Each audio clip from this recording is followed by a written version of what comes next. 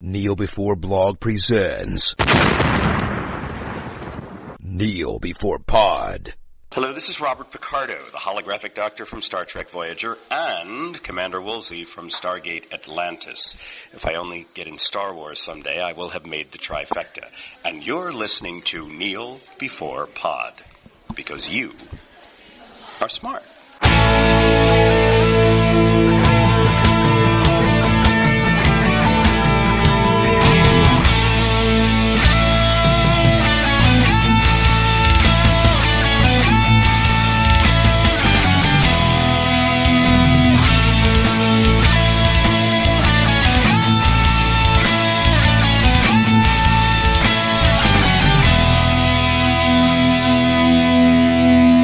And welcome to Kneel Before Pod, the podcast that will be celebrating Star Wars Day with an Ewok party. Why not? I'm your host Craig, and this year for Star Wars Day, May the 4th, May the 4th be with you, we are going to be discussing the two Ewok movies. Yes, those things exist Caravan of Courage and The Battle for Endor. Joining me, as always, for some Star Wars conversations, we have Natalie. Hello. Hello. I briefly thought about doing some sort of Ewok attempt at talking, but my brain went blank. Well, you'll have to give that a go later then. And Angus, do you have any Ewok isms that you're going to introduce yourself in? Yub nub, Craig. Yub nub. Um, yup, no. Preempted but- my intro. well, I think how can you be on an Ewok podcast and then not have an attempt at talking Ewok? I don't know if Yubnub said in these things. Oh, there's definitely some yub nubbing. Yeah, I think there's Yup nubs all over the place. Okay, so for some reason this year we're talking about the Ewok movies for Star Wars Day. So let's start with our spoiler-free thoughts. Get straight into that in case we can spoil this for anybody that's listening. Natalie, you go first. What do you think of these two films? I just want to quickly ask, actually, why did we choose to cover the Ewok films? Well, I'm going to get to that, but it wasn't my idea. Was it my idea? No, Okay, good. I feel like could've- everyone's looking at me.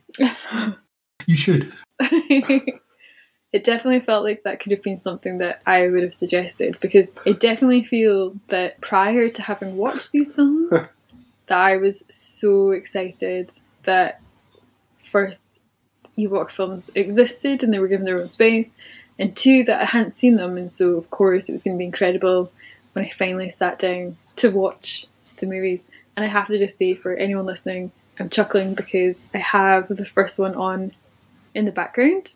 Subjecting yourself to it again. Yeah, just as a little visual reminder, because I think, spoiler free, I was left going, what was that? And really questioning how what came to be came to be. Is that a spoiler? No, Great, then I think let's go to Gus. Angus, what did you think of these? I had vague, vague, vague memories of these things, and I don't think I'd ever seen either of them all the way through. They just kind of melted into my subconscious somehow, along with droids and Ewoks cartoons that were all just part of that post original trilogy stuff that people tried to get their hands on back in the day and milk Star Wars for all it was worth. Blue Milk Star Wars for all it's worth. Yeah, spoiler free. Given the choice again, I would not watch these both on the same night. Too scary, really. Mm-hmm. There's some fairly scary parts. Disney Plus says this is for ages six and up. We both qualified, that was fine. But I think that there are some scary parts. I think that they're attempting to do a kind of 80s fantasy or adventure story that is done better elsewhere and lean heavily into the, the Ewok stuff that turned a lot of people off of Return of the Jedi. So if you're a kid and you always wanted to be in a Star Wars movie, then these films are for you because you can kind of see yourself represented there. Otherwise, I don't think they hold a whole lot of value. So when you suggested this last year, or perhaps maybe the year before, I can't remember when you first came up with the idea of when we're finished the main series films, we should do the Ewok movies, but it's your fault. And Thank it's one of those things that I agreed to at the time, thinking, yeah, that'll be a fun novelty. And then I was half an hour into the first one, and I checked how long it had been on for, and realised it had only been half an hour, and there was another hour to go. And I remember having a bit of a grimace when I noticed that both of them were about 90 minutes each. Mm-hmm. For some reason, I had it in my head that they were only like 45 minutes or something like that, but No, they're not. They're No, they're feature length. Yeah. properly feature length. The novelty very quickly wore off. I didn't have a good time with these at all. They're not for me. I've said to other people, yeah, tune in to Kneel Before Pod, where you can hear me tear apart films starring people dressed as bears that are made for kids. And that's what's basically going to happen today because I was not a fan of either of these. I think the second one was a little bit better than the first one. What? Really, I'm of the Uh, opposite opinion, yeah. and that's maybe because by the time we watched it, I was just Oh, fed up with Ewoks. oh, it was just. It's like that Family Guy joke where Peter, as Han Solo, just gets really dark because he's fed up of Ewoks. Mm-hmm. I personally am very excited to hear you. Well, it sounds like maybe shred up some Ewoks because usually you tend to find a positive or some kind of redeeming feature. So I really can't wait to hear what you have to say about this. I'm not going to say that I hated every single second of Oh, it, but you should though. but for the most part, I was pretty well checked out by Yep, of each of them. sounds familiar. I watched them on separate days, which Uh. rejuvenated me slightly. I honestly feel like that could be wise, but as soon as I was going to say that there, I was like, I am so glad that we kind of got it out of the way. Just binged it, and Yeah. that's it, done. Never again. Yeah, we had a break between them. The second one I watched in two chunks. I watched the first half on a work lunchtime, and I watched the second half on not a work lunchtime. On a work afternoon. If only. I can honestly say I would rather be working than watching this. That's how Oh. bad they oh. are. Oh my god. oh, that is strong criticism. It is quite savage. How scathing is that? Yeah. Wow. Anyway, shall we ask our friend Wicket the Ewok, or whoever our Ewok friend is, to take us into the caravan of spoilers? Oh. Let's do it.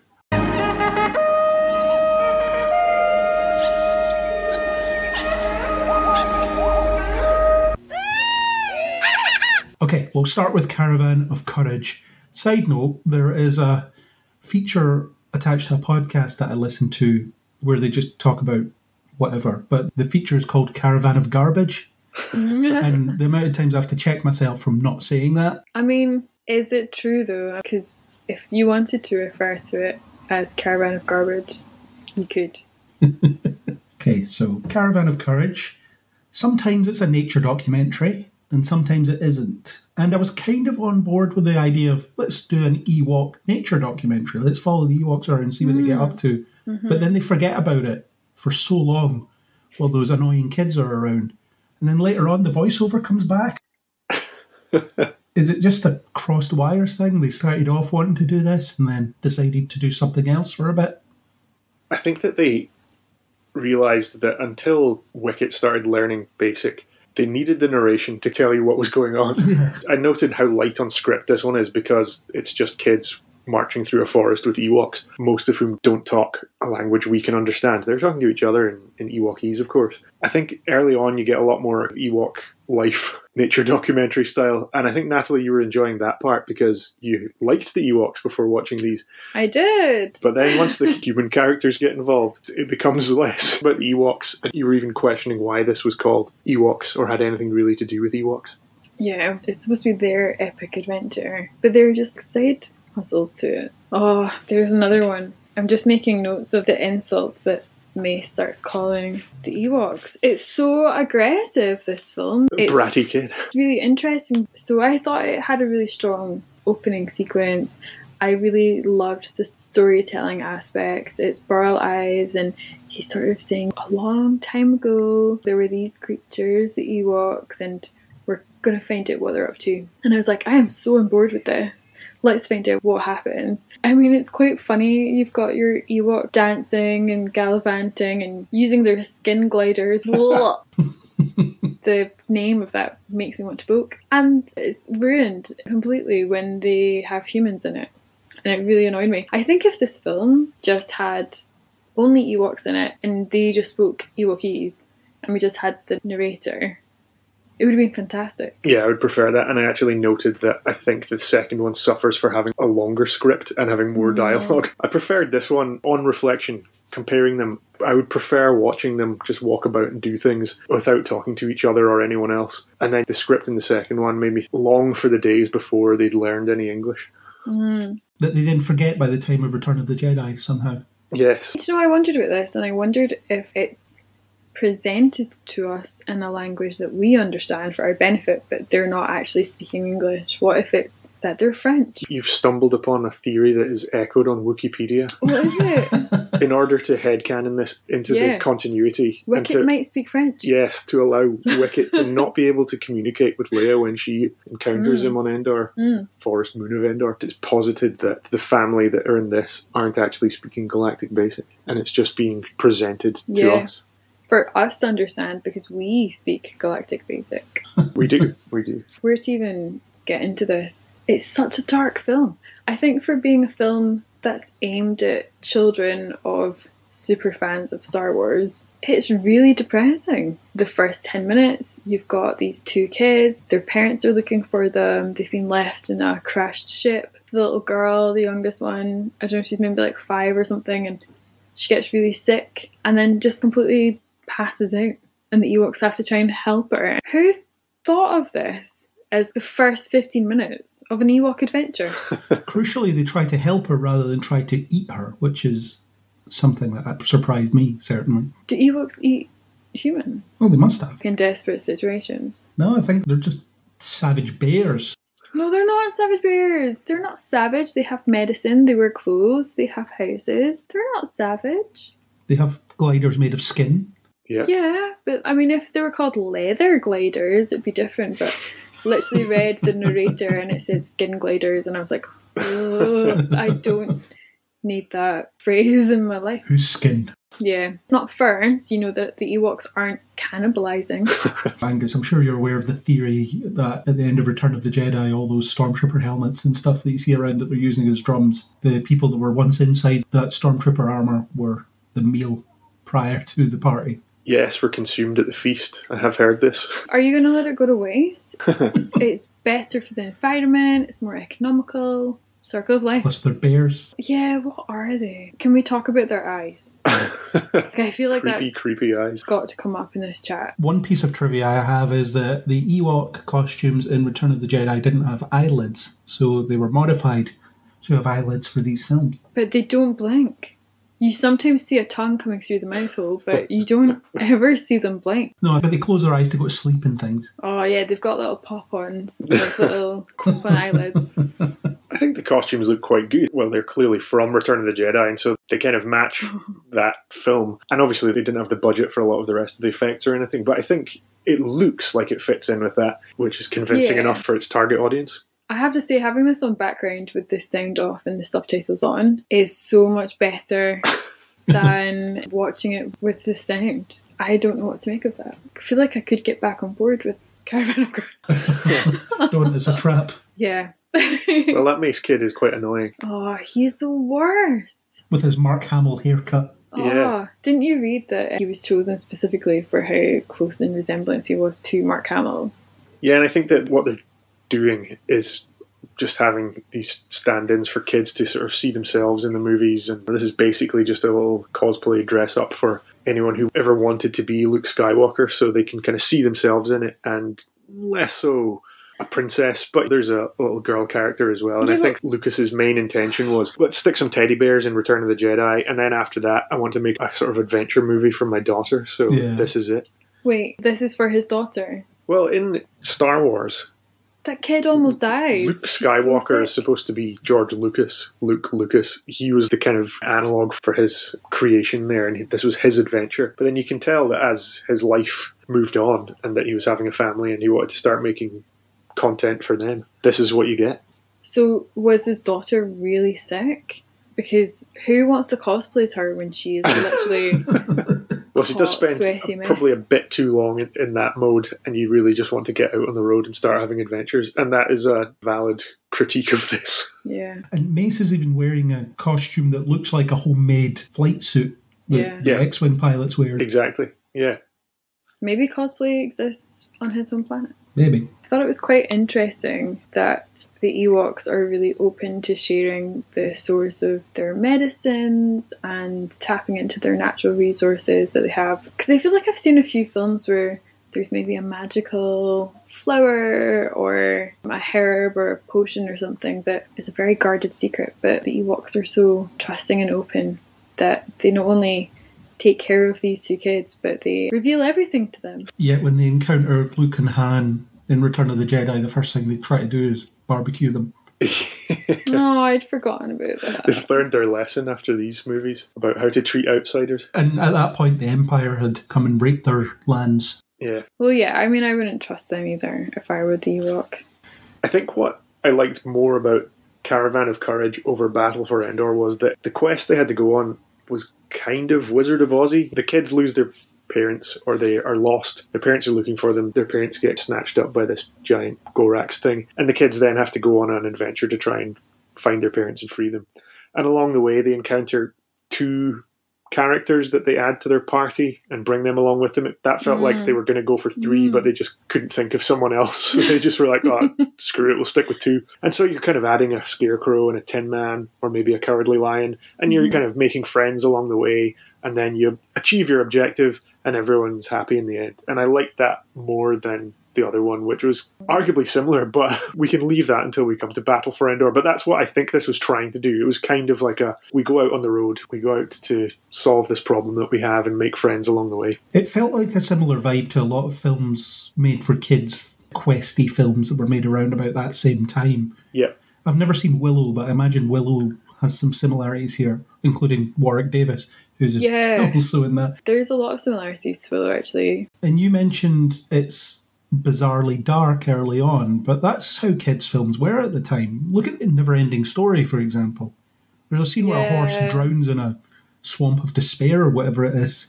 Oh, don't, because that really happened. Yeah, it's true, and I think that it leans more into the fantasy elements. And again, in the next one, yeah. you see that even more. And at times, I was thinking this is a Star Wars movie, or this is supposed to be set in a universe where there's the Force and Jedi and things that we've seen, but this feels at times when they're running around the forest or even when they're riding horses around the forest, it felt more medieval or more fantasy. I think that it's interesting that there would have been three saga movies, the three trilogy movies of the time, and then there probably wasn't a whole lot else. There was the holiday special and there were these cartoons and these spin off movies. Star Wars wasn't as established in people's minds. I know it was a massive pop culture phenomenon, but I wonder if you could just make this kind of thing and be like, well, this is happening in a different place in Star Wars, whereas now we've had decades worth of spin-offs and TV shows and computer games and the sort of sci-fi aspects of it are far more well established. If they made it now, that Mandalorian would turn up for the middle half hour to explain what he's up to. Yeah. I'm just going to reiterate. I think I enjoy this film so far with the sound off.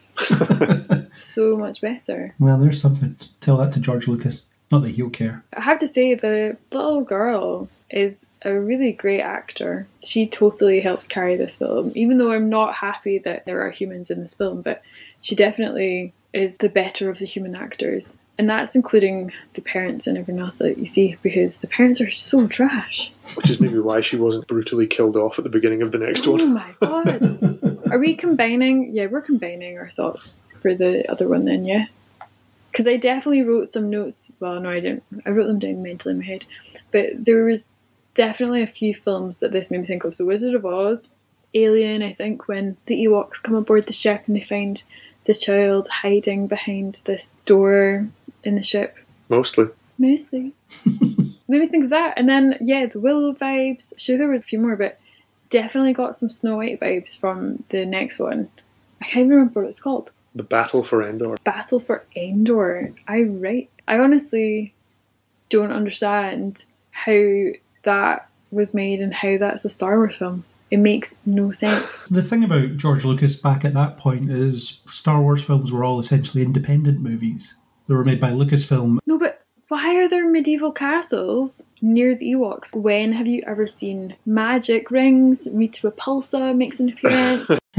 when have you ever seen any of those figures or those behaviours? Just the characters were just so off to me. It could have been something that wasn't Star Wars. They didn't have to try and shoe foreign Ewoks into that. Maybe it's quite groundbreaking in that sense then, because every Star Wars planet has one single biome or environment on it. Hoth is an ice planet, Tatooine is a desert planet. But Endor, you can see you've got the forests that we're familiar with, but you get desert and marsh and scrub and castles, and it's, it, it's actually incredibly diverse. Technically, the forest moon of Endor. Endor is a gas giant or something, isn't it? Oh, I, I, also had to look that up on Wikipedia, and apparently they're both called Endor. okay, that's, God. that's useful. how creative when you can make anything up. I just want to comment again on the Ewok faces, their little noses, their teeth, the fact that they want to, I don't know, look emotionful, so they stick their tongue through their mouths, so you get a little waggle of a tongue. That really creeps me out, and I feel like they do it a lot in Caravan, and they've maybe reined it back a little bit in the next one, but it still happens, and it still absolutely grosses me out. The thing I was surprised to learn, I don't know why I didn't know this before, but Warwick Davis does not voice Wicket. Wait, so what? he's literally just walking around dressed as a bear, not saying anything. that is his contribution to this film. Well, I mean, those are Who some powerful gesticulations. Someone else, I'm not sure. Oh my god. Do you know what? They actually reminded me of something else. And I was like, why do Ewoks sound so familiar? And it's because they sound like the mice in Cinderella. Did you think that? No, but I haven't heard the mice in Cinderella for a long time, so Oh, okay. I'll take your word for it there. Yeah. Oh my gosh, Craig, find out if there's a little clip or something on YouTube and listen to it. It is absolute spitting image, spitting sound, Spitting audio. spitting audio. I feel like they've used it for the movie. Were either of you surprised that there were actual horses in the first film? Yes. And llamas and rabbits. Yeah. Yeah. The sort of llama alpaca situation, I thought, ooh, they're more exotic and therefore more fantasy like. But then there's a rabbit and there's a polecat and they've got animals kicking about. There's lizards. Oh no, wait, that's the next one. There's a lizard and a mouse in the next one. They've really gone for some quite domestic animals. But then you couple that with some stop motion animation of some pretty terrifying Oh looking beasts. God, the beasts are so scary. I thought the stop motion animation was pretty good. It's obviously quite low budget stop motion, but it's okay. I would go with very low budget. It probably matches up to its contemporaries. Did they need that? I think they could have easily not have bothered with it. I don't know. I think it gives it more sci-fi or fantasy beyond seeing Ewoks riding horses, which doesn't feel quite right to me. Do they ride the horses? They They've got ride them. donkeys. They form the caravan of courage. Oh my god, I felt so bad for that horse that's got that big nest on its back. Do you know the one that everyone gets chucked into? If It goes for a run at one point. Is that the next one? No, that's Though this that was this one. Oh yeah. Is this the one where they get given the magic objects to join them? Yeah. Yeah. Is this the one that he gets the dumb rock? Yes, because he dies very early in the Oh next movie. yeah. yeah. oh my god. Okay, so I really had issues with the Mace character. Not the actor. He's trying, but he could have tried harder. But the way this was written is honestly just really poor. There's definitely a moment where he really wants a crystal. One of the mage Ewoks or something is like, okay, people are going to take these shiny gifts. Someone gets a tooth, someone gets a gem, like a crystal, and he gets gifted a stone or a rock. And he's so pissed off about this that he throws the stone down, and a different Ewok comes along, picks up, and recognizes that he's just been insanely rude and super dismissive of the mage Ewok. And then it gets to the point where he gets asked, Oh, do you have this rock? Because this is the perfect opportunity to use it. This is exactly what we need. And he's like, Oh no, I threw it away. And then the Ewok comes up and goes, I've got your stone. And then he's like, Wow, thank you. You kept it for me. That's amazing. And then the next scene, it's like, What am I going to do with this dumb rock? It's just a stupid stone. And I was like, Where's your character growth here? You've literally just been thankful for it because you've been asked if you have it. It's like they've edited it out of sequence. You are listening to Natalie Acts Out Caravan of Courage. Thanks. it honestly made me so mad because I was like, it makes more sense that he's like, it's just a dumb rock. But then they're like, well, but you need this dumb rock. and then, oh, thank you for this rock. Not, oh, thank you for this rock. What am I going to do with this dumb rock? It makes no sense. Absolute shoddy work. and there's just so much terror in this film. I just don't think I'd be happy watching this as a child. I think a lot of kids' films from again back then were geared towards scaring children. Well, I remember like the Dark Crystal and stuff, and that absolutely had moments of terrifying me, but it also had really nice moments of magic, of that sort of foresty wonderness. This kind of has that. I mean, the monsters in this are way more monstrous. I don't know. I, I did think it was probably quite scary, but then I'm seeing the Dark Crystal and Labyrinth and various other things more often. So I'm more used to that now. I just wonder if the stuff in between the scary stuff is interesting enough to keep kids' attention because Mm. It didn't keep mine. it lulls quite badly. Yeah. Yeah, I think making this 90 minutes was a mistake. It certainly couldn't hold my attention for 90 minutes, so imagine a young child. Yeah, I definitely had moments where I was like, I think I'm going to fall asleep. And I was like, I really can't because I'm pretty sure I fell asleep the last film that we podcasted about. So I was like, oh, like, I can't keep being that person. No, the last film we podcasted about, you disappeared to go play with the cat instead. Oh, yeah, I did. I mean, that was worth it way more than watching Star Trek, I'm not going to lie. Seeing more of the stop motion, by the way, just to be hypocritical, it's not actually that bad. It's giving me Clash of the Titans vibes. yeah, I mean, it's not as good as that. It's not as good as that, but vibes. It's giving me in the sort of general realm vibes. Yeah, I think I agree with Craig that it lives up to its contemporaries. This is probably lower budget than some of those bigger movies. Yeah, and it's a Lucasfilm thing of old to have crazy stop motion creatures just thrown in. Another thing I have in my notes is that Mace was drowning for about five minutes. Oh my god. It's the longest drowning sequence I've ever seen. I don't think I've ever seen anybody drown more than this guy, and he was fine. I feel That like was they also really, terrifying. really did not need to pad the runtime. It was the sound effect as well. It was that canned sound effect of you know, someone gurgling for breath. Yeah, it did go on for so long that I thought, is this like a labyrinth situation where he has to go down to get up? So I kept on thinking, oh, he's going to have a realization that actually he's either not in the water and everyone else is in the water, or if he goes down to the pond floor, he'll emerge back up on land. I kept on thinking they were going to do something kind of quirky about that, but no, they literally just trapped him under a big square of glass in the pond for a really long time. That was also quite scary. Yeah, and then the Chief Ewok or whatever he is stuck his magic stick in the pond and fixed everything. Yeah, Yeah, it's the kind of thing that kids don't question. You're given all these magic items and they turn out to all have a perfect time that you can use them. But yeah, I don't think it was the greatest scene of Jeopardy where he's kneeling over the pond, touches it once and then is trapped in it. Quite strange, but they had to have something else kind of exciting happen. hmm Yeah, because nothing exciting had happened for a while by this point. Or possibly at all.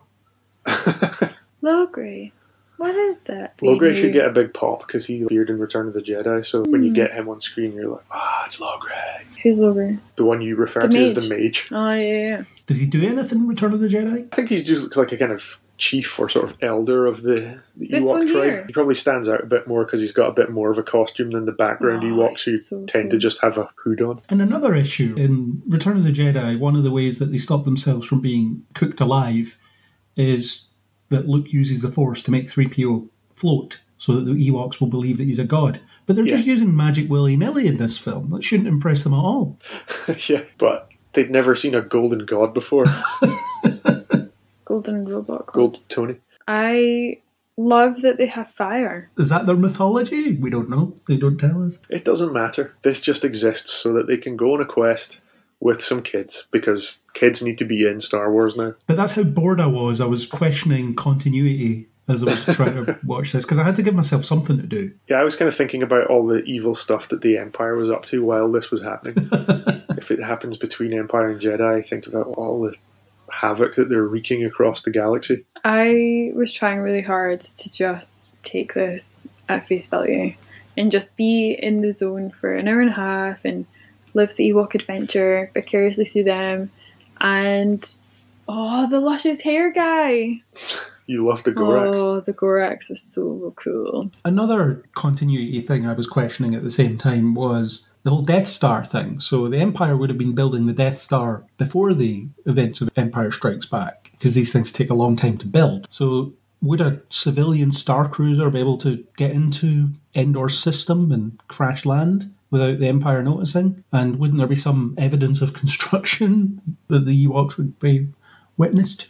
Maybe we've got a Galen Erso sort of situation where the dad was actually a contractor or working for the mm. Empire. It's never actually said whether or not these are mm-hmm. goodies or baddies. Yeah, true. He might have been taking some leave from his construction job on the soon to be fully operational Death Star 2. He was looking for a place to put the shield generator. That's why they're there. Yeah, he was scouting it out, but also combining that with a family holiday. I do think that they're bad people because I don't think they're very responsible parents. They do nothing to try and get themselves out of that situation. Yeah, they just hang about in the cave waiting to be rescued, don't they? Yeah, honestly, when you finally see the kids and the Ewoks turn up to try and rescue them in the cave, they're in the cage, they're suspended quite high up. They don't make any effort whatsoever of being, oh my god, what are you doing here? How did you get here? You didn't have to come. Where's your sister? He's just there on his own. They don't even ask, oh, where's Cindel? Is she okay? Are you guys okay? They're so lackluster and they are the worst part of this. Yeah, and it's a shame that this was written as though it was written by children. They're parents in a kid's movie, so they're there to either be an impediment to the fun, or they're there to be rescued, or they're there to get out of the way to allow the kids to go on their adventures. But yeah, what they're kids they're, want to watch this and go, they're "Oh, very badly parent-" developed, and they don't do anything. Yeah, they don't. Just add them to the list of bad Star Wars parents. There's a long one. Yeah, honestly, they're trash. They're so trash. The scene has just come up already where Cindel and Mace are looking at that spinning top that the mage Ewok is like, we can see her parents, and she's so upset, and she's like, please help them or they're going to die. You're five years old. You should not be thinking about that. It's so depressing. And let's talk about the next movie. Did the actors not want to come back because you've got a different dad? Paul Gleason. You've got. you don't ever see the mum, you just see her legs, and you just see her son with a gun over her to Cindel. You don't want to come over here. I'm like, this is horrible. It's just so sad and horrible. If you could write any Ewok film about any Ewok adventure, I just don't know why you would write this. I just really don't understand it. Shall we move on to the battle for Endor then? I don't think we've got much left to mine from this caravan of courage. Yeah, I just want to very quickly say that I thought Burl Ives was great as the narrator. He had me engaged. Do you like the hair on the Gorax? Oh, the Gorax's hair was incredible. and how he got kind of sucked down that chasm before and he came back. came back. They always come back, Oh. as we learn from They Scream. always come back. That was such a scream move. I actually felt watching this movie that quite a few films that came after it must have seen this and taken inspiration from some things, which I'm loath to say. I feel like they've seen certain things and gone, we can do this better. Well, I thought the Gorax was quite a scary big bad because he was he was big. hot. He did have good hair, but he was big. Unlike the guys who were just kind of hanging around in that castle in Battle for mm. Endor. But Oh we can my move on to Battle for Endor if you want. The worst of the two. Well, I don't know. Craig's got an argument to make. Unless either of you have anything else to say about Caravan of Courage, we can move on. just that the Ewoks are cute. They were never given a chance or an opportunity to just have their own adventure. So the sideline of Caravan of Courage and Ewok Adventure is so misleading. I would hope that at some point maybe they would make another Ewok film and it would truly be an Ewok adventure. And I just hope that I can keep hold on to that slight glimmer of hope because this film made me kind of devastated that I liked Ewok. Well, this may be a question that we'll tackle later on in the podcast, so we'll park that for now. We'll employ the standard Kneel Before Pod catchphrase of we'll get to that later, and I don't know, we might. if I do my job as host, we'll get back to it. Okay. Angus, do you have any final things to say before we move on? I still think this one's better, even if it was probably because we watched it first and I wasn't tiring of subpar 80s kids' fantasy movies. I like it because it's better having the brother and sister as two human, relatable characters for the audience. He's clearly a Luke Skywalker stand in, and that for me is fine because I always wanted to be Luke Skywalker as well. I like the fact that Ewoks don't talk quite as much, and I don't mind the narration. I think that's fine. It's a bit of a mishmash, but it, it holds it all together and I prefer the story of the quest and having to find those friends along the way, even though they're not that well developed. You get the guy who's supposed to be strong, and you get the kind of witchy one as well. But yeah, as I said before, I feel like they kind of ran out of steam with it, and we're like, well, can't really think of a third one, so these guys will do. And then only one of them dies at the end as well, which is a shame. But yeah, I think this one's just better all round. I agree. I think it is. It doesn't stack up to those other great 80s fantasy movies, but Oh it does God. feel a lot like it's trying to be those. I also just want to very quickly add that I really hated that by the end of this film that the children aren't speaking Ewokese because they have come in from another place, speak another language, and then decided that they're going to make everyone else speak their language rather than learn some Ewokese. That really annoyed me. Cultural appropriation irritated you. Well, it's that whole thing of galactic basic thinking that colonially they're better. But we now know that it's not because Ah, they're not. speaking. It could be French, it could be some kind of other language. And I also just want to say that Mace is an absolute prick. Like, his commentary on what he refers to as savage creatures, calls them mop face at one point. I'm pretty sure he calls them hair on a stick or something as well. He calls them a hairbrush or something. And I think that's mm. just really I, unacceptable. th- I and think Mace that's could have kind done of better. indicative of 80s culture as well, where anything that was different was bad, so and you could just be as insulting to those people as you like. Yeah. The best line I think he had where he just called them little bears, and I was like, that's kind of okay, right? I think. Is it? Maybe it's they not. might find it offensive. They might find it offensive, but he goes, rocks, these little bears are nuts. and I was just like, oh. Well, we all know that Star Wars has no respect for nature anyway. You see them just liberally murder animals in every film. Oh my god, I think I hate Star Wars. I think this film's ruined me. Oh, maybe it's actually the next one that I would say that about. I do wonder if there's more Star Wars I don't like than Star Wars I do like. I honestly, Craig, the more that we We're do probably this, past the tipping point. I was thinking this, the more we do podcasts on these annual celebrations, the more I realise I don't really like them. Which I'm trying to come to terms with. I'll enjoy this being an annual tradition for as long as you live. Cool. What are your final thoughts on Battle for Adventures of Ewoks? Caravan of Courage. Yeah. I didn't like it at all, really. I found it really tedious. Too long, characters were annoying, the story didn't grip me. Just took so long for anything to happen. I feel like the 45 minute version of this might have been tolerable, mm-hmm. but as it was, it just dragged on endlessly until it finally finished. I don't know how many times I pressed the center button on my remote control to see how Oh. long is left. I think it was your first mistake. Yeah, I- I was definitely avoiding doing that because I thought this is only going to lead to trouble. it's only going to have been on for seven minutes. Yeah. But I think that the climax of Caravan of Courage I found more bearable than the next one. Again, maybe because it was three hours into watching Ewok movies. I felt like the end of the next one dragged on so much, whereas this one I was like, okay, it's over. They've won. They've defeated the Gorax. They found their parents. Yeah, they They all win. get to celebrate. They're having a little party in the woods. It's full circle. But if we have to talk about Battle for Endor, Well, Craig liked it more. so oh here- seriously, let's hear what he's got to say about it. okay, well, yeah, let's move on to Battle for Endor. Is it because they kill all of the characters that you had problems with? That's part of it.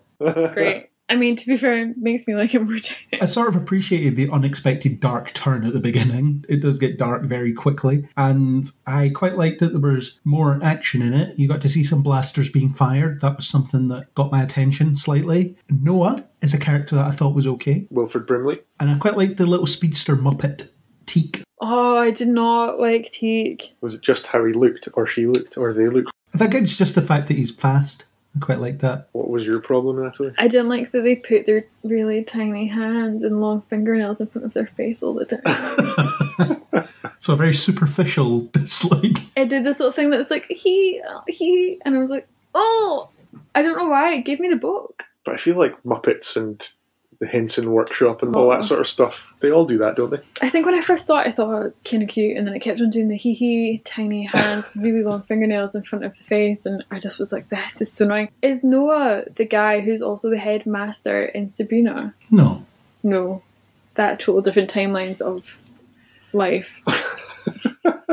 He's not the guy that plays Willard Kraft, no. Okay. Who's this guy? Wilford Brimley. What's he in? Everything. Like what though? See every film that was made in the 80s and early 90s, he was in them. Okay, hold on, let me think of one. What was made in the 80s? I've- E.T.? He's one of these guys where when you look up how old he was in the film, And you're like, oh, you're like, that's mine. he's only 42 in that. How does he look about 70? Was he actually 42 in that movie? in this, I have no idea. Oh my god, no, I think he looked about 60. I quite liked Noah. They didn't really fully commit to him being a standoffish, crotchety old man. He wasn't standoff and crotchety. I think if they'd gone for that and that's what it was, that would have been better. He was abusive. I really felt like Teek is in an abusive relationship with Noah. It felt really uncomfortable. He's told not to leave the table, they're going to eat their dinner, they're not allowed to go outside, they're not allowed to do X, Y, and Z. And I was like, this is really horrible. But is that maybe like the equivalent of us shouting at a cat to get down from the kitchen counter or something? No, because he doesn't speak to him like it's a cat. He doesn't speak to it like it's a pet. He speaks to it as though it's someone that he believes is better than. But it screamed to me abusive relationship. And that made me really sad. I think he was 50 in this film. Because you've just done mad maths. Yeah. That still doesn't feel old enough for how he came across. 50 was a lot older than, than it is now. I think that is true. I didn't like that storyline. I don't like the fact that Wicket has learned so much more whatever language it is they're speaking because I don't really like them being able to just talk to each other. I didn't really like all of the family dying so early on because I wanted to see more of Breakfast Club era Paul Gleason in a Star Wars property.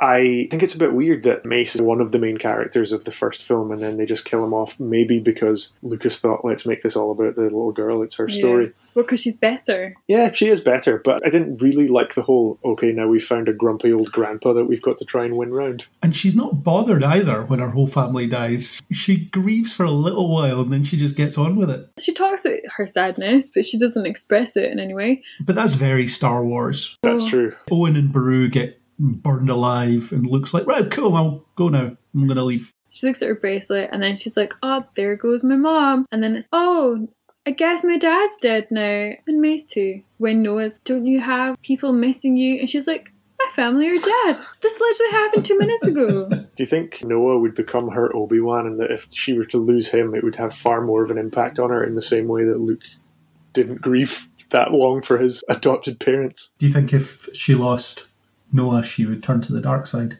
But it would make a difference because she's not force sensitive. Oh, I wish she was. Why did they not do anything like that? It's somewhat refreshing to have a Star Wars thing with no Jedi in it. Yeah, and just tons of Ewoks. And in some ways, it did remind me of episodes of The Mandalorian, or haven't really watched much of Boba mm. Fett or Andor even. But as you say, it's kind of refreshing to have just these things that are happening elsewhere that kind of relate to what you've seen before. I mean, maybe not this, but the concept itself is refreshing. Yes, the concept, not the execution. Yeah. That's what she reminded me of. She really reminded me of. I don't know if you ever watched this cartoon called Moon Dreamers from the 80s. Nope. But she really looks like one of the Moon Dreamers. And she's so cute. She's really adorable. And also a really good actor. Way better than everyone else. Angus, did you catch the He Man reference? I have the power. Yeah. I don't know if it was specifically a He Man reference. I have to assume it was. Could well be. I think that you clocked that one of them says, Oh God. I think that's actually in the last one in Caravan of Courage. I'm pretty sure the mum goes, Oh God, or Oh my God, or something. And we were a bit like, Wait, what? I suppose you could be referring to any in universe god, but it's just funny because it seems like they're referring to the Christian god. Yeah. And it always makes me think of Paul Rust on Star Wars Minute when I'm sure Han Solo at one time says, See you in hell. He changes it to See you in Christian hell, establishing in universe that that was a, a place you could be sent. it's good to be specific. Yeah, there's other sorts of weird anachronisms in Star Wars, isn't there, through dialogue where they reference things that we know. I think it's lazy. It's lazy not to have imagined a wider world or universe expression. When you've imagined so much, why would you not just imagine something else rather than It is result- weird how they like- s- kind of substitute things in every now and again to refer to Gleep Glorps, but then mm-hmm. so much else is just colloquial. Who's the guy in the animation for the Battle for Endor? In the animation. If you go into Disney Plus, it's so you're about to watch Ewoks the Battle for Endor, and then they've got like this Iron Maiden graphic. It's actually pretty cool. I'd have that on a t-shirt. it is quite cool, but who's the guy in the middle? Go to kneelbeforepodstore.com. Who is that? It's a He's very not. good question. He's not anyone in the movie. Unless it's supposed to be her dad who dies No, very early maybe on. it's a young Noah. Maybe they cut out a whole scene of them being young. Maybe whoever uploaded this to Disney Plus put the wrong thumbnail on. I'm just thinking, I wonder if there's another version. Yeah, I thought there was going to be a twist in this film where Noah's like, oh, my friend went missing looking for blah, blah, blah. And then we see that that person did not survive. But then the main marauder, I was like, maybe it turns out that that's Steve. A film made by Lucasfilm with multiple versions? Surely not. Maybe there was supposed to be a scene where it was young Noah hanging out with Steve. What did you think, Craig, of the total twist to just out and out fantasy where we've got magic rings, we've got shape shifting, there's a castle that's basically just medieval or fantasy? Did you just kind of accept that as being something that could happen in the Star Wars universe? I think by that point I'd stopped trying to rationalise anything that was going on. So anything it threw in front of my face, I was like, whatever. How long have I got left? It's a good response. How long's left? An hour. Great. Okay. Oh. but you were holding on to Noah being a good guy, right? I quite liked Noah, and I liked his back and forth with Cindel as well. I thought they had some quite unexpectedly charming scenes together. Yeah, throughout the movie, I thought it was quite cute, but I just thought that they pitched him slightly too aggressive at the very start. I just think that he came off as a sort of domestic abuser. I'm not gonna lie. The writing didn't really seem to support his arc. Yeah. He wasn't fully committed to just being mean. Like, get out. Well, you might burn the forest down. Come in. You Yeah. can sleep here tonight, but you're going out tomorrow. You can see the steps that he will take because it's the same steps that anybody that goes through such an arc would take. But weirdly, they don't commit to it early on. There, But super basic. Yeah. there is no point where he just hates everybody early on and warms up. Yeah, he doesn't really have to change or go through much of an arc. Yeah. And I agree that it's probably, Natalie, as you say, basic in that he just has to be another grown up in a kid's movie where Yeah. he's just mean because grown ups are mean and he's just angry because grown ups are angry and he's just throwing you out the house because grown ups throw you out the house. Yeah. I think if you told me that a child or a school group had written this movie, I'd be like, I can see that. yeah, I can 100% see that. How nice. But I think that I can picture everyone from Star Wars, all the writers and stuff, sitting around a table brainstorming and then going, let's imagine we're the kids and thinking that they're so funny and so clever and so smart for trying to imagine how kids would perceive certain things. And it just doesn't hit any good mark. I don't think that many writers were involved. Oh god. and I don't many- think that in the same way that nowadays everything has to go past, there's a continuity group or there's gatekeepers of Star Wars canon. Everything has to go by the story group. I think at this time it was kind of the Wild West, and basically George Lucas was like, I want to make kids' films, so I'm going to do that. You didn't have Kathleen Kennedy putting her eye over it, such as it is. No. I just feel like again it was another one that I think could have been good if they'd focus on Ewoks. But they don't focus on Ewoks yet again. They focus on like a strange Marvel Universe situation where somebody has to get a battery and power up a vehicle, basically. It didn't work for me at all. I would have liked it more if it wasn't classified as a Star Wars film. It could have just been a rogue 80s legend level fantasy film. hmm I mean, I'm not saying it would have been great, but it would have been fine. I think knowing that it is part of the Star Wars everything makes it suck so much more. The ship that they ultimately leave the planet on, that's Noah's, yeah? yeah. Yeah. So he just decides to literally build a house on Endor because someone steals his power supply. Yeah. And then once he gets it back, he's like, right, I'm off. Yeah. Into what? Because weren't you having a good time? To get shot down by a Star Destroyer because they're building the Death Star at this moment in time. Yeah. That's what happens next. You don't see it, but Yeah. that's immediately what happens. They leave the atmosphere and they're gunned down instantly. Yeah, it's pretty sad. Has George Lucas made a film that's not Star Wars? Yes? What has he made that's not Star Wars? THX1138, he made that. What is that? It is his first film. American Graffiti, that's also him. Mm-hmm. Okay. He directed American. Oh, wait, I knew that. Damn it. He helps out with Indiana Jones as well. Red Tails, did he do that?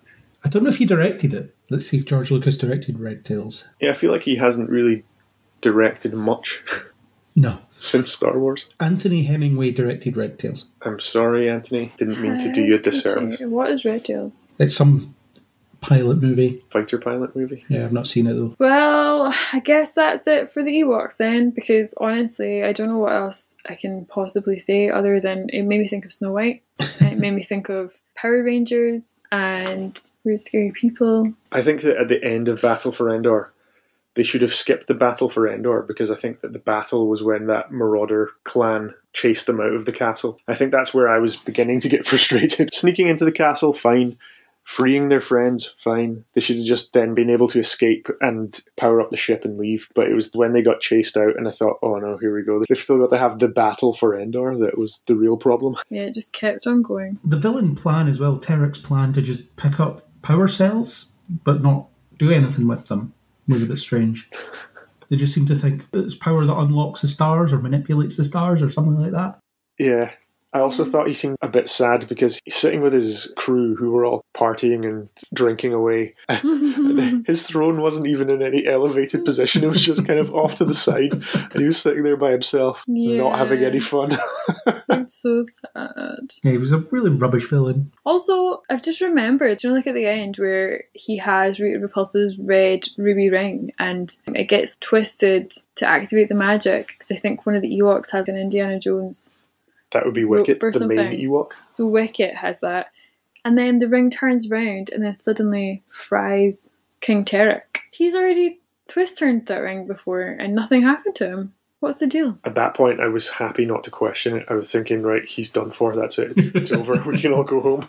Don't have to look at his stupid, not moving face again. It was kind of brutal though. He just gets burned to death. What about Cheryl? I think her name is, or Cheryl? I don't know. I forget the pronunciation. The witch, The witch. who's a villain but also not a villain. Yeah, Rita Repulsa. Yeah, Rita Repulsa. It's that whole thing though, isn't it, where you don't have any options, so you have to serve the evil. I guess. Wasn't really established in any way. Yeah. She just is introduced doing nefarious deeds. She's just there, yeah. Yeah. Endor seems to be a popular stop off spot for a lot of people. Yeah. I just can't believe we've had historic environment Endor trying to preserve all of these medieval buildings, and the Ewoks are still cutting around in their buildings. I don't know how they've not moved into the castles. They couldn't afford to show you the Ewok village, Yeah, yeah, we did not see that. the large, intricate civilization that you see in Return of the Jedi. Oh, Yeah. Oh my god. They're just cutting about and maybe going to a small house or something. I don't know. Do you know what also you just reminded me of? That bit where they make another skin glider in the cave. Oh, she gets picked and up by that. she gets picked up, yeah, by the dinosaur or something. Oh, that was bad. And then dropped and then oh, Wicket's like, yeah. That's okay, I've made a skin glider out of bones. Yeah, where Wicket follows her, she's getting dragged off by Yeah. a weird pterodactyl thing or whatever Yeah. it is. That was quite early on in that, and the effects, I think they were over ambitious and under delivered. And compared to Caravan of Courage, which we've all now agreed is the superior of the two. Sorry, Craig. Uh, I'm not going to argue with it.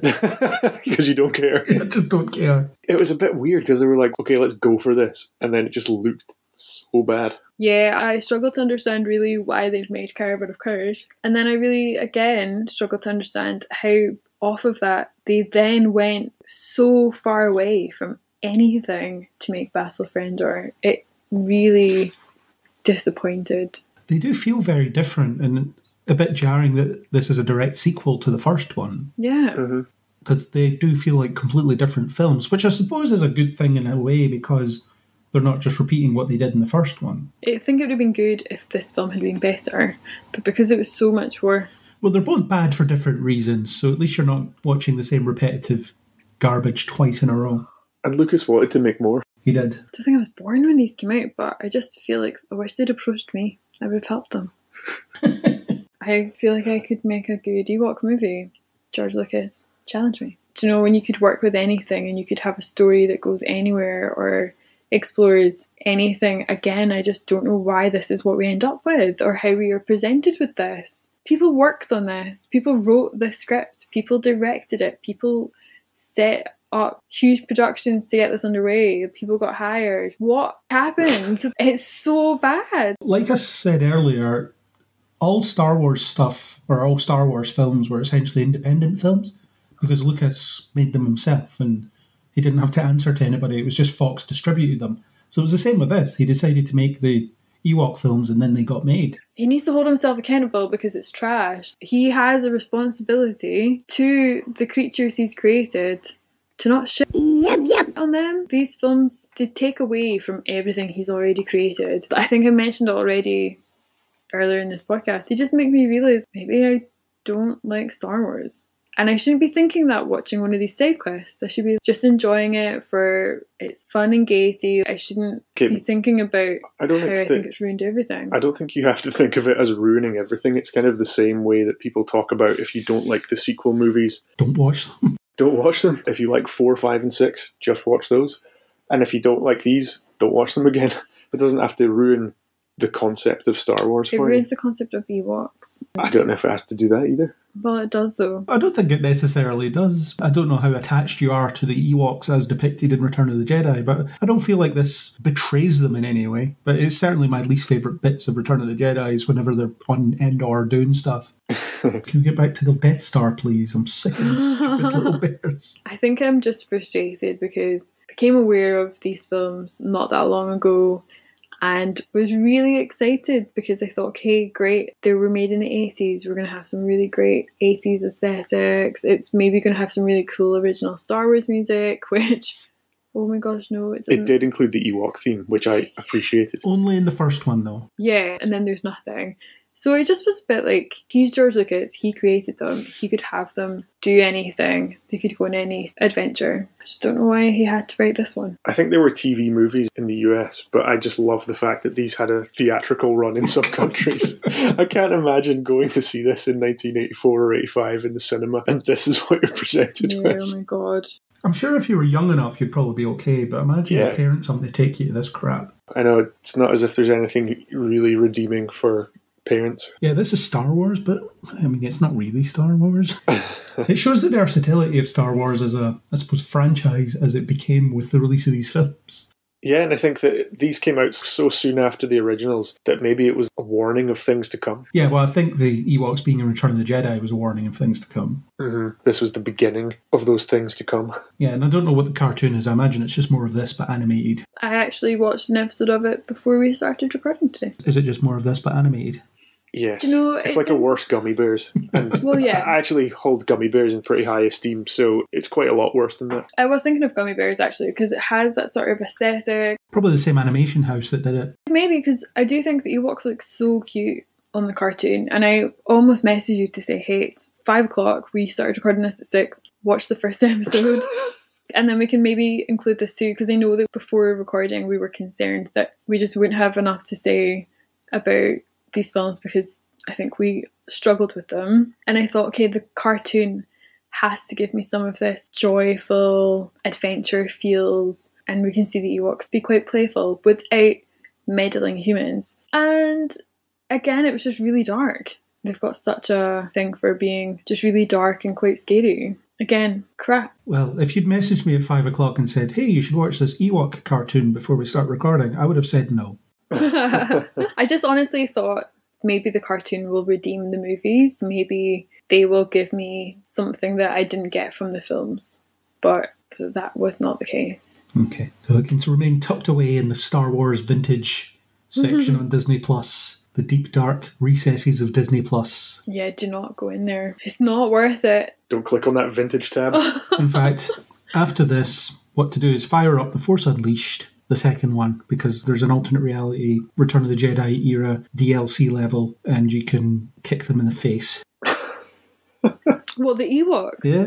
I don't want to kick the Ewoks in the face. I want to kick George Lucas in the face. The move is called Force Punt. What Starkiller does is he lifts the Ewok by the face, electrocutes them, and then kicks them. You can do it to Jawas as well. It's very satisfying. I'm not playing that. Press triangle and square, and it happens. No, I'm not. Immensely satisfying. I think if they had that, but it was the writers, the directors, the script, all of that, I would maybe take part. Do you have anything else to say, Craig, about these films? Not really. I just thought this one was slightly better than the first one because I quite liked that. I saw blasters and stuff. So the blasters, Yeah, it's pretty superficial. I'm not going to say that meaningful reason that I liked it more than the other one. I was like, oh, they're using blasters. That's pretty cool. oh my god.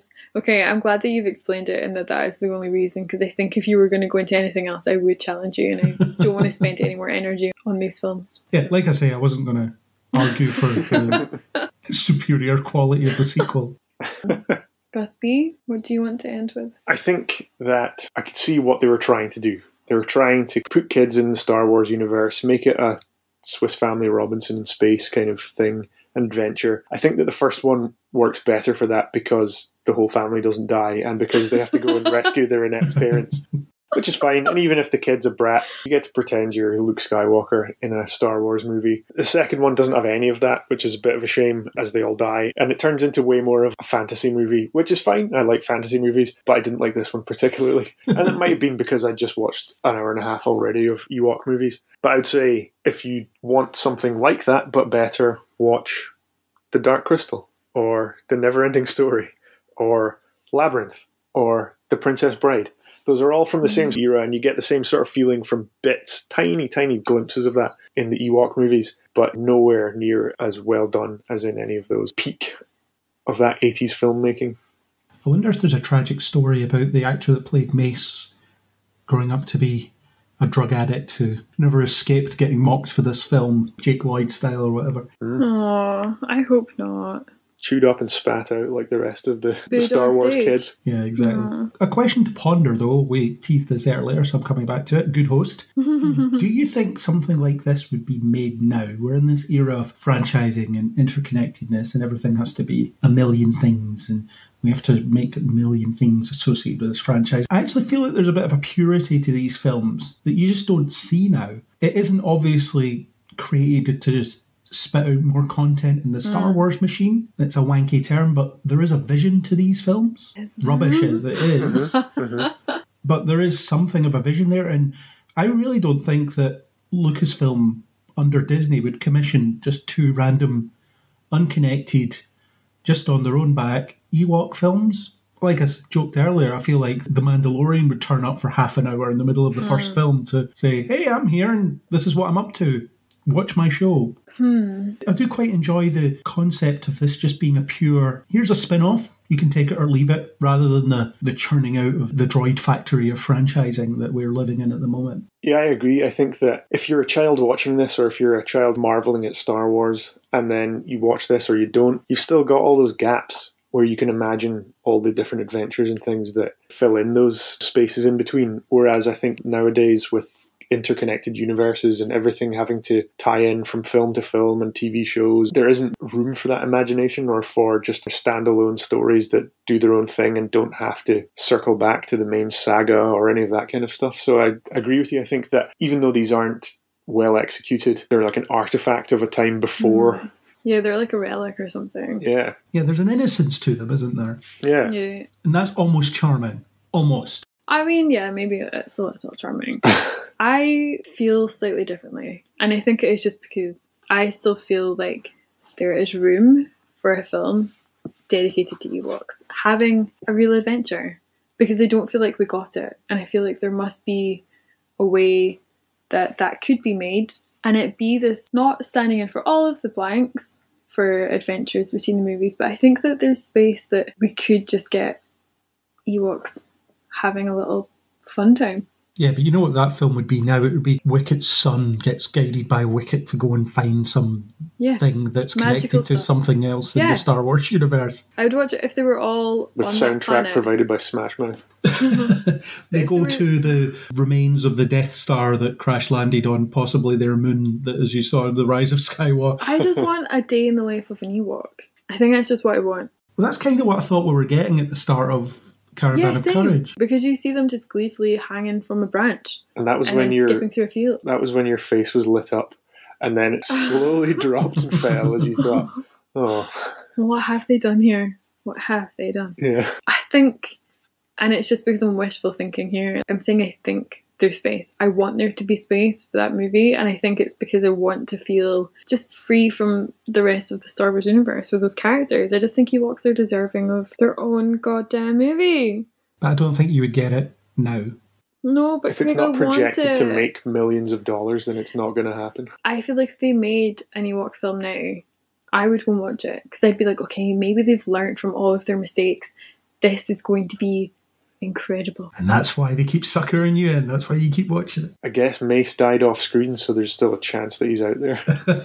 Yeah, it could have been that his bangle broke off. No one thought about that. Yes, his weird communicator bangle. I hold up hope. Hold up. Hold out. I hold out hope that there is space for a frolicking good time with the Ewoks. There's maybe room in this vast franchise for these little guys to do nothing, essentially. Yeah, but I'd be with them for that. They could commission a documentary style thing, even get David Attenborough to do it. That'd be cool. no, unless you're going to do that with humans. I don't need it. They have agency. Just watching porgs fly about on cliff sides. Yeah. I think there's a whole sub franchise of Star Wars nature documentaries that we could make. Not us, but they could make. Yeah, mm, I don't know if I would watch them to be honest. The mating habits of wild rancor. Right, I'm going. Whatever other weird creatures. The ones that live inside the big worm. Or even a documentary about the big worm that lives in an Yeah. asteroid. The big worm. Mm. And then maybe it's also the same big worm in Tremors. I don't know. Do you have any final thoughts, Gus, for this one? we are about to play through, or we are actually playing through Return of the Jedi on the Skywalker Saga Lego game. And I don't know what's going to happen when we get to Endor, but I don't want it to be impacted by what we put ourselves through last night. Haven't you heard of the Caravan of Courage DLC that they're releasing for that game? I would like it actually if Cindel was a character you could buy. Yeah. That'd be cute. The little Lego Cindel. Unfortunately, I think these movies have been decommissioned from the canon. But I would also like to play as Ewoks. I don't know if we're going to get to, but I hope we do. Yeah, you walk up to Wicket and press triangle, and then you're Wicket. And What? you can crawl through small spaces. There we go. That's something to look forward to. Your faith in Ewoks is not completely crushed. That was in the classic Star Wars Lego games. I don't know about this new over the shoulder third person shooter thing. They've got to be. I can't even remember for the original ones. I'll go low grey. Who's the one that I liked? Wicket. No, no, no. The Witch. The guy with the incredible hair. Grolax. Growlax. Grolax. Gorax. Gorax. I'd be very surprised if they have Oh Gorax man, can in you there. imagine? That's the game that I want. Just keep pestering the Lucasfilm Twitter account and ask for Caravan of Courage DLC. Honestly, Gorax's hair, luscious. be amazing as a Lego character. I'm sure. Were those your thoughts? The very last thoughts. I feel like you're trying to wrap up here. I am trying to wrap up. I'm tired. Yeah, who's hosting this thing anyway? I did desperately try to get out of hosting this. I Did you? Angus picked up on it though. Aw, I feel like I could have posted, but whatever. What are your final thoughts, Craig? My final thoughts are I, I'm glad uh, I've seen these and never have to watch them again. So that's an itch that has been scratched and does not need to be scratched again. You're such a Noah. Or possibly a wound that's been closed that I don't need to aggravate. I don't know, something mm-hmm. along those lines. It was an interesting curiosity to watch these because I've never seen them before. It expands on the Star Wars things I've had exposure to. But now that I've seen them, I feel like my life didn't need that in it. but I wouldn't have known that unless I watched them. So it's that catch 22, isn't it? Exactly. Mm-hmm. And now you can always talk on them with authority. Yeah, anytime someone asks me if I've seen the Ewok films, I'll say, yes, they're terrible. And I can say they're terrible because I've seen them and think they're terrible. It's an informed opinion. Yeah, and I have to say this is such a rare occasion, but I, I agree with Craig. Wow. Who knew Um, take the battle for Endor Yeah, you for know. this to finally happen? Not that that is marginally better, but just that these films are stinking, and I was very curious and trepidatious. People kept on saying that these films were terrible, but I still held out that they would actually be fantastic, and I think I just went in. My expectations were not aligned with the reality, so I was just sorely disappointed. And I've already had to warn people at work when I said what we were podcasting about tonight, and they were like, What is this? An Ewok movie? And I was like, Not just an Ewok movie, two Ewok movies. And they immediately had to Google it. And I was like, Don't do this to yourself. If you've lived without these, you don't need to open that door because it is disappointing. It's something you just can't come back from. It's just that thing though, I think the QRC is going to get the better of people who haven't seen it. They're going to watch it and they're going to be painfully aware that they're not immortal and they're not going to get those three hours back. To be fair, I think if people are going to watch it without any skin in the game, such as having to prepare for a podcast, they might not make it through the first 20 minutes. Because I wouldn't have. Yeah. If there are any skin gliders in the game. Oh, skin glitters. If we weren't doing this podcast and I decided I'm going to give these Ewok films a go because I've never seen them, I probably would have turned it off after about 20 minutes.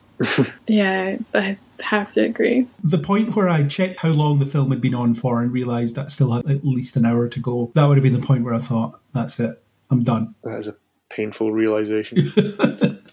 Yep. The definition of suffering for your art, isn't it? Indeed. Yeah. Next year, we'll maybe watch something a bit better. what is next? There's a lot to choose from that we haven't covered. My suggestion would be the Clone Wars movie, the animated Clone Wars movie. Mm, I think I did see that at the cinema, and I think I may have fallen asleep. I think I went with Lanny. That leads to hate, which leads to anger, which leads to suffering. The introduction of Ahsoka, we could watch that for next year. what? Why are we on all these subpar movies? Clone Wars is good. I can't remember it, but I remember being dragged to the cinema with a really good friend of ours because he wanted to watch it, and I was a bit disappointed. Shall we explore why that was next year then? Sure, maybe I'll love it. Because over subsequent years, there'll just be things like watching an arc of Clone Wars and talking about that, or watching a couple episodes of Rebels or something else, whatever other Star Wars stuff is kicking about, we'll flit about and see what we can Yeah. talk about. But I think the Clone Wars movie is probably a good place to start Okay. Because we've got the introduction of Ahsoka, who is going to be a really important character. Oh, the character with the really cool hair ears. Yeah, Anakin's Padawan. Like a sea slug. Okay, I'm back on board. So that's what we're doing next year Clone Wars movie. Great. And then the year after that, probably some other Clone Wars episodes. Who knows? Uh, I think the year after that I might step down. Guess we'll see. We'll find out. Join us next year for something that we might like. Yeah, there's every possibility. So is that us then? No more chat about Ewoks. We're done with Ewoks now. I am done with the Ewoks now. You can use that as a direct quote. Angus, are you done with the Ewoks? Yes, I am done. Good. I'm tired of these mother flipping bears on this mother flipping Star Cruiser. Podcast. Oh, There's a possibility for a Star Wars thing, some kind of creature on a thing type movie. Can you please make sure that you use an image that is a close up of one of the Ewok faces? You can see its glassy, beady eyes not looking where it's supposed to, and its tongue is sticking out through the teeth. If you can find that image and save me looking for it, go right ahead. Challenge accepted. And if we still do titles at one point when Wicket was getting disturbed over and over again, I came out with the pun "No rest for the Wicket." I feel like I had to squeeze that in there. Yeah. I could title the podcast The Ewok Movies hyphen No Rest for the Wicked. Yeah. Yes. We've gone super niche this year, guys. I love it. I've just googled Ewok dumb face tongue. Let's see if that brings us an image. While she's doing that, I'm going to wrap this thing up. Oh, That was our conversation about the two Ewok movies. Angus, thank you for appearing. and oh. good up and up to you. And Natalie, thank you for appearing. thanks. I'd like to thank Ian Wright and 331 E-Rock for the supplied music. If you enjoyed what you heard here, then please do hit subscribe on Spotify, Apple Podcasts, or wherever you get your podcasts. We would usually like you to do a star rating and a comment to associate with that star rating. But Natalie, how many stars would this podcast merit, do you think? The podcast? Oh, wait, I can get this this time. Five. Bingo, well done. If you want to discuss Ewoks, Star Wars in general, or anything else, please do hit us up on Facebook or Twitter under Kneel Before Blog, or you can leave us a comment on kneelbeforeblog.co.uk. And as always, we hope you'll join us next time on Kneel Before Pod. Happy Star Wars Day. May the Force be with you all. And also with you. Yup, no.